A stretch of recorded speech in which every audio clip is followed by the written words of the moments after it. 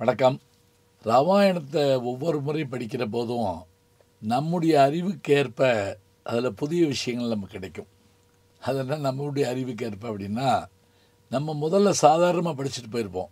இப்போ நம்ம கொஞ்சம் வளர்ந்த பிறகு நிறைய படித்த பிறகு உரையாசிலாம் கற்ற பிறகு ஒவ்வொரு முறையும் நமக்கு வந்து அதில் புது புது செய்திகள் வர்ற மாதிரி தோடுது அதுக்கு காரணம் அதனுடைய ஆழம் நுட்பம் எல்லாம் போக நம்முடைய அறிவும் வளர வளர அதனுடைய அருமை நமக்கு புரிய ஆரம்பிக்கும்.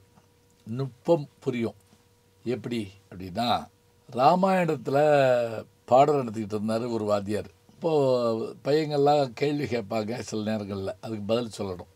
இந்திரஜித்தன் என்ன பண்ணுறா போர்க்களத்தில் ராவணனுடைய மகனாகி இந்திரஜித்தன் இலக்குவனோட போர் செய்கிறான் அப்படி போர் செய்கிற போது பிரம்மாஸ்திரத்தை பயன்படுத்துகிறான் அதை பெரும்பாலும் பயன்படுத்தக்கூடாது நியாயப்படி. ஆனால் அவன் என்ன பண்ணுறான்னா தன்னுடைய வீரத்தை காட்டுறதுக்காக பயன்படுத்துகிறான் பயன்படுத்தினா அது அத்தனை பேரையும் அழிக்குது இலக்குவன் உள்பட. இந்த நேரத்தில் மாலை நேர ஜபங்களை செய்வதற்காக சென்றிருந்த ராமன் வந்து போர்க்களத்தில் பார்த்த உடனே அவன் பயந்து போகிறான் இலக்குவன் இறந்து கிடக்கிறானே அப்படின்னு பார்த்துட்டு உடனே அவன்றான் கதறி அழுது என்ன உடனே நான் காட்டுக்கு வர சொல்லலையப்பா அப்படிங்கிற அளவுக்கு வந்துட்டான். அப்படியே மயங்கி எழுதுட்டான் யார்? ராமனும் ராமனும் விழுந்துட்டார் இலக்குவனும் விழுந்துட்டார். வாத்தியார் பாடல் நடத்திக்கிட்டு இருக்கார். இப்போ இதை பார்த்த விபீஷ்ணன் காய்கறிகளை கொண்டு வரப்போ இந்த விபீஷ்ணன் வந்து பார்த்து யாரா இதில் கொஞ்சம் உயிரோடு இருக்கா ஏன்னா சிரஞ்சீவி பட்டம் பெற்றது யாருன்னு கேட்டால் அனுமன். அவன் சாக மாட்டான். அது யார் இந்த பட்டத்தை கொடுத்ததுன்னா சீதை. உடனே அவனை ஆசுவாசப்படுத்தி எழுப்பி ஜாம்பாவனை எழுப்பி ஜாம்பாவோடு சாக மாட்டான். அவன் வந்து பல யுகங்கள் இருக்கக்கூடியவன். அவன் ஒரு கரடி. என்ன செய்யலான்னு இமயமலைக்கு உடனே புறப்பட்டு போ. ஒரு வினாடி கூட நிற்காத. போய் இமயமலையில் இருக்கக்கூடிய அந்த சஞ்சீவி மூலையை கொண்டு வா. கொண்டு வந்தேன்னா இவங்களை பிழைக்க வச்சிடலாம். உடனே அவன் வாயு வேக மனோவேகத்தில் பறக்கிறான். அந்த மூலிகை எதுன்னு தெரியல. அந்த மலையவே பேத்துட்டு வந்துட்டான்.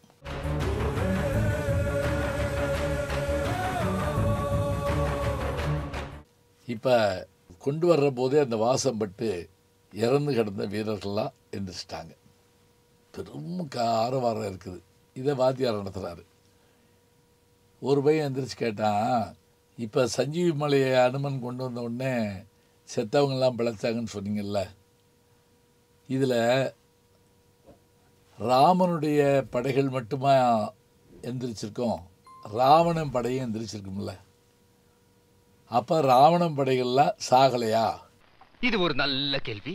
இதுக்கு என்ன செய்யறது? அவன் திருப்பி சண்டை போட்டானா? ஏன்னா மருந்து எல்லாத்துக்கும் தானே விளவாக்கும். இந்த கேள்வியை கேட்ட உடனே வாத்தியார் வாயடைச்சு போனார். ஏன்னா அது என்ன நடந்துச்சுங்கிற விஷயத்த உள்ளே படித்து பார்க்கணும். அப்போ தான் தெரியும். அது எந்திரிச்சாலாம் என்னன்னு தெரியலையே அப்படின்னு யோசிச்சுட்டு நாளைக்கு வந்து சொல்கிறேன் அப்படின்னாராம். இப்போ பாருங்கள் இந்த கேள்வி யோசிச்சு பாருங்கள் அந்த சஞ்சீவி மலை வந்தப்போ அதனுடைய திறத்தால் எழுந்தவர்கள் வானரப் படைகள் மட்டுமா? அரக்கர் படை எழவில்லையா? இந்த கேள்விக்கான விடை என்ன? விடை என்னன்னு கேளுங்க. மறுநாள் அந்த வாத்தியார் படிச்சுன்னு சொல்லிட்டாருன்னு வச்சுக்கோங்க. நம்ம பார்ப்போம் விடை என்னன்னு. இப்போ இந்திரஜித்தில் என்ன பண்ணுறான் இலக்குவனை வீழ்த்திட்டு நேராக போய் அப்பாட்ட சொல்கிறான் இளையவன் வீழ்ந்தான் அப்படிங்கிறான் அப்போ மூத்தவன் அப்படின்னு அவன் கேட்குறான் அதுக்குள்ளே ஒடியாந்த வீரர்கள்லாம் அவனும் விழுந்துட்டானோடனே அது ராமர் மயக்கம் போட்டு விழுந்திருக்காரு அவர் இறக்கலை. ஆனால் இப்போ இலக்குவன் இறந்துட்டான் மயக்கம் போட்டு விழுந்ததை பார்த்துட்டு செத்து போயிட்டான்ட்டாங்க. இப்போ ராவணனுக்கு ஒரு வகையான ஒரு இந்த சேடிஸ்ட் குணம் பார்ப்பல அது மாதிரி ஒரு ஆசை வந்தது. என்ன தெரியுமா? அவங்க இறந்து கிடக்கிறத சீதையை கூட்டு வந்து காட்டுவோம். சீதையை கூட்டு வந்து காட்டோம்னா அவளுக்கு அப்போ தான் தெரியும் நம்முடைய பலம். போ போய் சீதையை கூட்டு வந்து காட்டு. தேரில் ஏற்றி சீதையை கூட்டு வர்றாங்க. அவ அங்கேருந்து புறப்பட்டு வரப்போகிறான் இப்போ தான் விடை தெரிய போகுது நமக்கு. ராவணனுடைய அரக்கர்கள் உயிர் பெற்று எழுந்தார்களா? கேள்வி இருக்குல்ல? அதுக்கு என்ன விடை என்ன? சீதையை கூட்டிகிட்டு வர்றபோது ராவணன் இன்னொன்று யோசிச்சான். ஆஹா உன்னை விட்டுட்டுமே. நம்ம ஆளுகளும் செத்து கிடந்தாங்கன்னா அவள் பார்த்துட்டு என்ன செய்வாள் ஓ பக்கம் செத்துருக்காங்கல்ல அப்படின்னு சொல்லுவாள் அதனால் அவள் தேர் வரதுக்குள்ளே நம்மால் டெட் பாடியை பூரா தூக்கி கடலில் ஓட்டுருங்க. ஒரு பயம் இருக்கப்படாது வெறும் வானரங்களாக செத்து கிடக்கணும். அந்த வானரங்களுக்கு நடுவில் இலக்குவனும் ராமனும் செத்து கிடக்கணும். அப்படி ஏற்பாடு பண்ணுங்கன்ட்டான். அதே மாதிரி என்ன பண்ணாங்க இவங்களுடைய அரக்கர் குல வீரர்கள் இறந்து கிடந்தவங்களாம் தூக்கி கடலில் போட்டு விட்டாங்க கடலில் போட்டாங்களா? போட்ட உடனே விமானம் வருது. சீதை பார்த்து கதறா அழுகிறா இதுக்காக நான் இது பண்ணேன்னு. அப்போ கூட இருந்த திருச்சடை சொன்னால் அம்மா அப்படிலாம் நினைக்காதீங்க. இது இவர்களுடைய மாயம். இவர்கள் செய்கிற மாயங்களில் ஒன்று கவலைப்படாதீங்க. எந்திரிச்சிருவாங்கன்னு சொல்லி ஆறுதல் கூறுறா.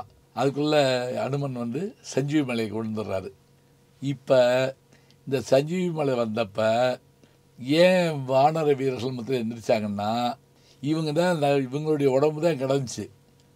பாவிகள் அந்த அவங்க விட்டுட்டு போயிருந்தாங்கன்னா அந்த அரக்கைங்க திருப்பி எழுந்திரிச்சிருப்பாங்க ஆனால் அவங்க கெட்ட நேரம் அவங்களுக்கு போய் உடம்பு போட அப்புறப்படுத்திட்டாங்க. அதனால தான் அந்த இடத்துல அவங்க எந்திரிச்சு வரல. இதுதான் விடை. அந்த பையன் கேட்ட கேள்வி என்ன? ஏன் அசுரர்கள் எந்திரிக்கலைன்னா? அசுரர்களும் இருந்திருந்தா எந்திரிச்சிருப்பான். ஆனால் அசுரர்களுடைய உடம்பெல்லாம் தூக்கி கொண்டு போய் கடலில் போட்டதுனால ராவணன் செஞ்ச இன்னொரு தப்புங்கிற மாதிரி ஆகிப்போச்சு அதனால் சஞ்சீவ் மலையை கொண்டு வந்தபோது இவர்கள் மட்டுமே எழுந்தார்கள் அப்படிங்கிறத நம்ம பார்க்குறோம். இப்போ இந்த கேள்விக்கான விடையை நம்ம பார்த்துட்டோம். அடுத்த ஒரு ஆச்சரியம் என்னன்னு கேட்டிங்கன்னா கடைசி நாள் யுத்தம் மூலபலப்படை வருது.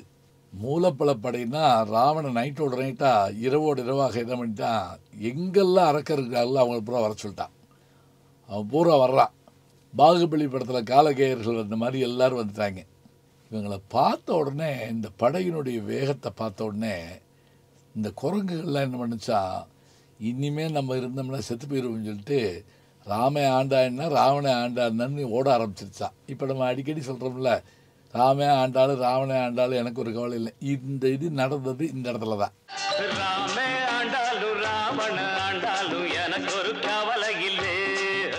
சரி இருக்கட்டும். இப்போ ராவணனோட யுத்தம் நடக்குது. அந்த யுத்தத்தில் ராவணனால் ஜெயிக்கவே முடியல. ராவணன் தான் முக்கோடி வாழ்நாளும் முயன்றோடைய பெருந்தவமும் பெற்று வாங்கி வைத்த வரம் தவம் ஆயுதங்கள் அத்தனையும் பிரயோகித்த போதும் அந்த த- அவ்வளவையும் ராமன் பொடி பொடியாக்கிடுறான் அப்போ தான் மலைச்சு நின்ன ராவணன் இது யார் இவன்? இந்த ராமன் யார்? சிவனா? பிரம்மனா? திருமாலா? ஆஹா. அதெல்லாம் தாண்டி இவன் வேத முதல்வன் அப்படிங்கிறான். அந்த பாட்டு ரொம்ப அருமையாக இருக்கும். சிவனோ அல்லன் நான்முகன் அல்லன் திருமாலாம் அவனோ அல்லன் மெய்வரம் எல்லாம் அடுகின்றான் தவனோ எனின் செய்து முடிக்கும் நரன் அல்லன் இவனோதான் அவ்வேத முதல்வன் காரணன் என்றான். சரி இப்போ இதில் ஒரு ஒரு ஆச்சரியம் பாருங்க. ராமன் ராவணனுடைய இருபது கரங்களையும் அம்புகளால் வெட்டி வீழ்த்துறான். வெட்டி வீழ்த்த வீழ்த்த அந்த கைகள் முளைச்சிக்கிட்டே இருக்குது தலையை வெட்டுறான். தலை முளைக்குது. நீங்கள் கேட்கலாம் இதெல்லாம் முளைக்குமா? என்ன இப்படிலான்னு இப்ப அவன் வாங்கின வரோம் வேற இடம் இல்லை. தலை முளைச்சிக்கிட்டே இருக்குது இப்போ ஒரு இடத்துல சோர்வு ஏற்படுது ராமனுக்கு. என்னடா அது? ஒருத்தருக்கு கையை வெட்டினா கூட வாழ்ந்துருவான் தலையை வெட்டுறது திருப்பி வருது. என்ன செய்யறது? இவனை எப்படி கொள்வது அப்போ விபீஷணன் சொன்னால் அவனுடைய மார்பிள் அடிங்க அப்படிங்கிறான். அவன் மார்பில் அமிர்த கலசம் இருக்கும் அதை நொறுக்குங்கிறது ஒரு வகை. இன்னொன்று என்ன தெரியுங்களா முக்கியமாக அவன் மார்பிள் அடின்னு சொன்னோடனே ராமன் குறி வச்சு அடித்தார் அதை எப்படி அடித்தார் எப்படி பானம் போச்சுங்கிறத மண்டோதரியினுடைய புலம்பலில் வரும். வெள்ளருக்கம் சடைமுடியன் வெற்படுத்த திருமியணி மேலுங்கீழும் எல்லிருக்கு இடமின்றி உயிரிருக்கு இடம் நாடி இழைத்தவாறோ? கல்லிருக்கும் மலர்கூந்தல் சாந்தியை மனச்சரையில் கறந்த காதல் உள்ளிருக்கும் என கருதி உடற்புகுந்து தடவியதோ ஒரு வெண்பாளி இது அந்த அம்பு உள்ளே போய் தேடிச்சுக்கின்ற அளவுக்கு சொல்கிறாங்க கரெக்டாக அடிச்ச உடனே ராவணன் விழுந்துடுறான்.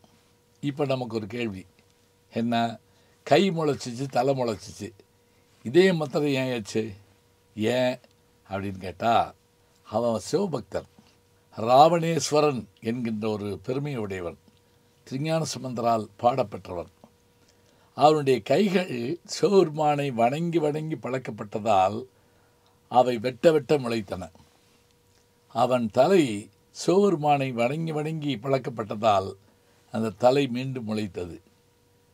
சரி இதயம் என்ன ஆயிற்று? அவன் இதயத்தில் சிவபெருமான் இல்லையா? இருந்தார். நல்ல கவனிங்க இருந்தார். ஆனால் என்னைக்கு சீதை அந்த இடத்துக்குள்ளே வந்தாலோ அப்போது ஈஸ்வரன் வெளியே போக அந்த இடம் ஒரு பெண்ணால் பெண்ணாசையால் பிறன்மனை நயத்தல் என்னும் கேட்டால் நிறைக்கப்பெற்ற போது அந்த இடத்தில் ராமன் அம்பால் அடித்தவுடன் ராவணன் வீழ்கிறான். எனவே இறைவன் வெளியேறிய இடத்தில் நமக்கு அழிவு ஏற்படும். இதை ராவணனுடைய கதைகளில் புரிந்து கொள்ளலாம். ஏன் என்ற கேள்வியை கேட்க வேண்டும். அந்த கேள்விக்கான விடையை நாம் தெரிந்து கொள்ள வேண்டும். கேட்டலும் கிளத்தலும் தான் கேள்வியும் பதிலும் தான் வாழ்க்கை. நல்ல செய்திகளை நாளும் சிந்திப்போம். நாளை சந்திப்போம். நாளும் நல்ல தமிழ் கேட்க முனைவர் ஞான சம்பந்தம் அவர்களின் கேளுங்கள். அவருக்கு மூத்த ஒரு ஞான சம்பந்தம் இருக்காரு. அதுவும் பிரமாமான தமிழ். அதையும் அவரே சொல்லுவார். கண்டிப்பாக கேளுங்க. நான் கேட்டுட்டு இருக்கேன். வணக்கம்.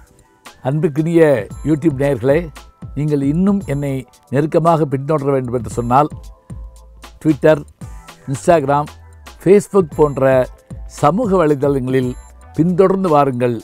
நாம் முன்தொடர்ந்து செல்வோம்.